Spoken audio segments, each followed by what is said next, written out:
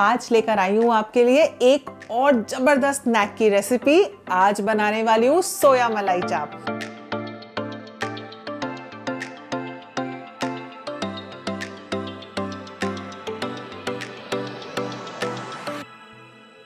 तो आप कहीं मत जाइएगा और इस वीडियो को एंड तक ज़रूर देखिएगा। और अगर आपने अभी तक मेरे चैनल को सब्सक्राइब नहीं करा है तो उसको सब्सक्राइब भी कर दीजिएगा।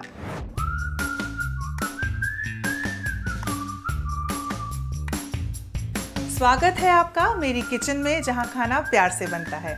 और मैं हूँ आपकी दोस्त Rupam Setia.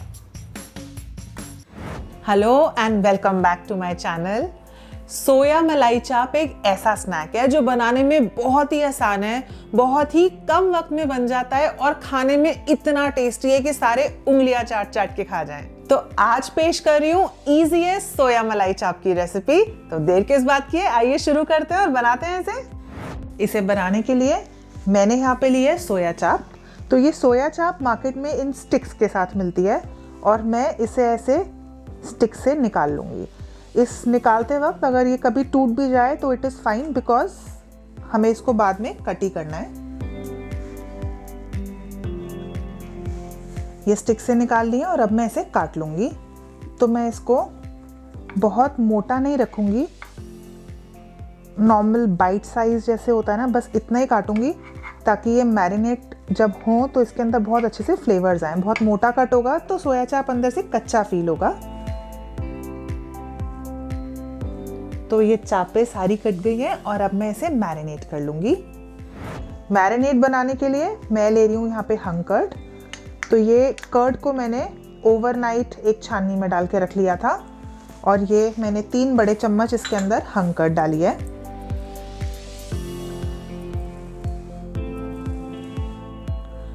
नेक्स्ट मैं डालूँगी इसके अंदर फ्रेश क्रीम तो फ्रेश क्रीम भी मैं इसके अंदर ऑलमोस्ट तीन चम्मच के अराउंड डालूँगी.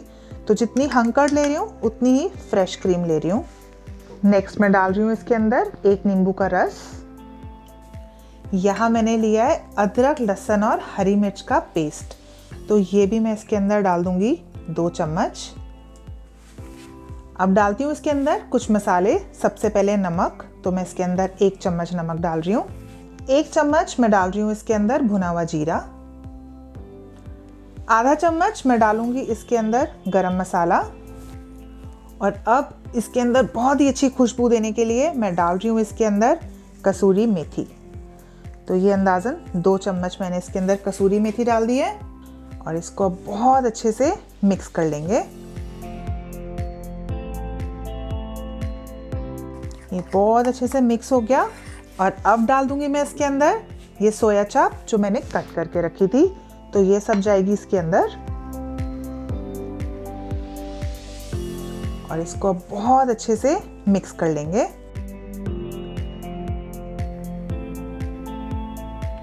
और अब इन चापों को इस मैरिनेट के अंदर आधे घंटे के लिए छोड़ दूँगी।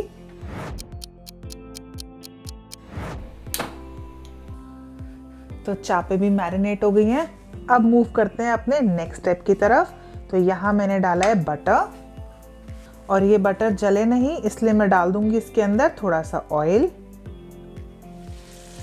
यहाँ मैंने लिए दो प्याज, और इनको मैंने पतला पतला लंबा लंबा काट लिया था।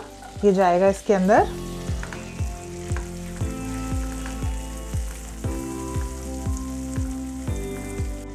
बस इन अनियंस को ज़्यादा कुक करने की ज़रूरत नहीं है। हल्के हल्के से ये पिंक होंगे। तो मैं डाल दूँगी इसके अंदर ये सोया चाप जो हमने मैरिनेट करके रखी थी। ये सारी की सारी जाएगी इसके अंदर।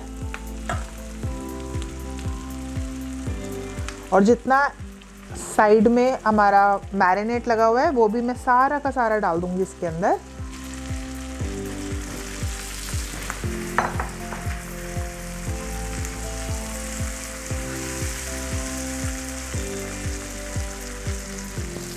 अभी गैस का फ्लेम थोड़ा कम करती हूँ और डाल रही हूँ इसके ऊपर फ्रेश ब्लैक पेपर। बहुत टेस्टी लगता है इसके ऊपर ब्लैक पेपर। तो फ्रेश ब्लैक पेपर डालूँगी।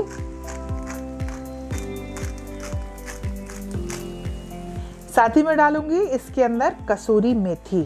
थोड़ी सी और। पहले भी डाली है हमने मैरिनेट करते वक्त, बट इसका बहुत अच्छा फ्लेवर आता है। और साथ में जाएगा इसके अंदर थोड़ा सा हरा धनिया। फ्रेश फ्लेवर के लिए हरा धनिया।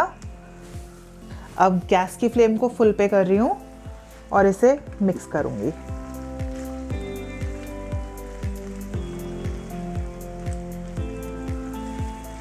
ये बहुत अच्छे से मिक्स हो गया है। सारे फ्लेवर्स एक साथ आ गए हैं। एक एक सोया चाप पे पूरा मसाला अच्छे से कोट हो गया है। और बस गैस की फ्लेम बंद और सीधा जाएगा ये सर्विंग प्लेट में।